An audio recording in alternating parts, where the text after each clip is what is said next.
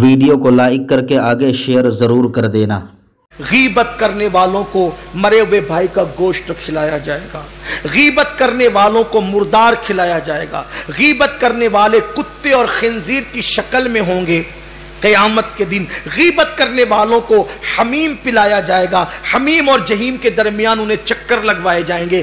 غیبت کرنے والے جو ہوں گے، اللہ تعالیٰ ان کے ناخنوں کو اس دن جو ہے لوہے کا کر دے گا، لوہے کا اور تانبے کا کر دے گا اور وہ اپنے ہاتھوں سے اپنے سینوں کو نوچ رہے ہوں گے۔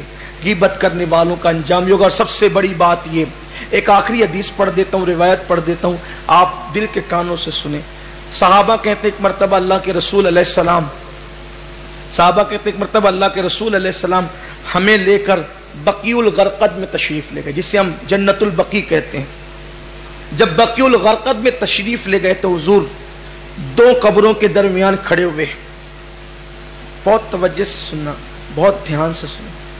میں اس کی تشریح ازرائے ادب زیادہ نہیں کر سکتا، صرف تعلیم کے لیے عرض کر رہا ہوں۔ لیکن اتنا سمجھ لینا کہ جو لوگ بقی میں دفن ہوئے تھے، وہ کافر تو نہیں تھے۔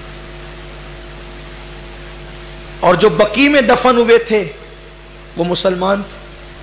اور جو مسلمان تھے حضور کے دور میں، کون تھے؟ صحابہ تھے۔ اور صحابہ کون؟ قطعی، یقینی جنتی لوگ، ہے نا؟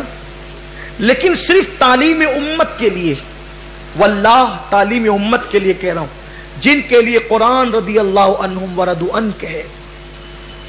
اللہ کے رسول علیہ السلام کے صحابہ کہتے ہیں کہ حضور بقی الغرقت گئے۔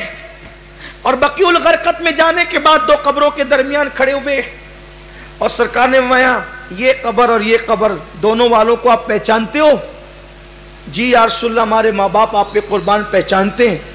سرکار ہم پہچانتے ہیں۔ کہا کہ تم ہی لوگوں نے انہیں دفن کیا تھا۔ ہاں سرکار، ہم ہی لوگوں نے انہیں دفن کیا تھا۔ یہ ہمارے بھائی تھے۔ سرکار فرماتے ہیں، یہ قبر والا اور یہ قبر والا۔ اللہ تبارک و تعالی کے فرشتوں نے ان کو ایسا عذاب دیا۔ ان کو ایسا عذاب دیا کہ انہوں نے قبر سے ایسی زور سے چلایا کہ مشرق و مغرب میں ان کی آواز گونج گئی۔ انسان اور جنات کے سوا، انسان اور جنات کے سوا ان کی آواز سبوں نے سنی۔ اللہ کے رسول علیہ السلام ارشاد فرماتے ہیں کہ اگر تم خواہشات میں زیادہ گرفتار نہ ہوتے تو وہ آواز تم بھی سنتے جو میں نے سنی ہے۔ آقا فرماتے ابھی ابھی ان کو جو عذاب دیا گیا، اس پر انہوں نے چلایا اور ان کی آواز جو ہے وہ مشرق و مغرب میں گونج پڑی اور سرکار فرماتے ہیں، جن و انس کے سوا سب نے سنا۔ اتنی دردناک آواز اٹھی۔ صحابہ نے اس کی آقا، ان کی، ان کے اوپر عذاب کیوں؟ اور اتنا بڑا عذاب کہ انہیں مارا جا رہے قبر میں۔ اللہ اکبر۔ میں پھر کہتا ہوں، میرے نبی کا صحابی جنتی مگر صرف تعلیم امت کے لیے یہ باتیں آئی ہے انہیں قبر میں اتنا عذاب دیا جا رہا ہے کہ آواز شرق سے غرب تک ان کی چیخوں کی پہنچ رہی ہے۔ وجہ کیا ہے؟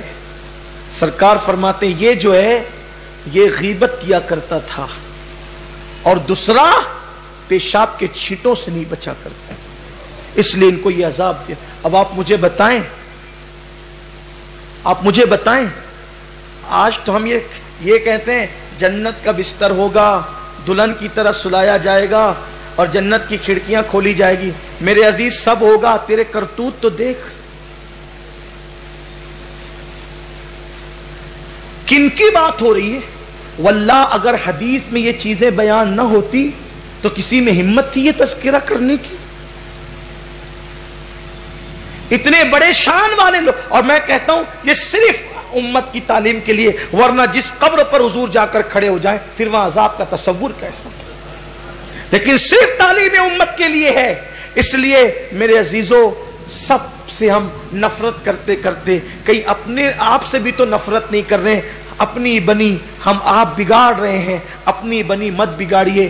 آج اللہ کی بارگاہ میں ہم اور آپ ایک دوسرے کو گواہ بنا کر صدق دل سے، خاص طور پر غیبت سے اور تمام گناہوں سے توبہ کر لیں اور آج سے یہ عہد کر لیں کہ انشاءاللہ نہ غیبت کریں گے۔ اور نہ غیبت سنیں گے۔ ویڈیو اگر اچھا لگا ہو تو لائک کر کے آگے شیئر ضرور کر دینا۔